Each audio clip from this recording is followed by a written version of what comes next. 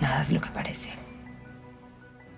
No cabe duda que las cosas cambian con los años, y después de ver un personaje tímido, tierno y penoso, veamos a otro totalmente atrevido, sensual y candente. Es así el caso de Maite Perroni, quien protagoniza nueva serie de Netflix y sí que nos dejó con la boca abierta. Obscuro Deseo, cosas que debes saber antes de ver esta sensual serie de Netflix.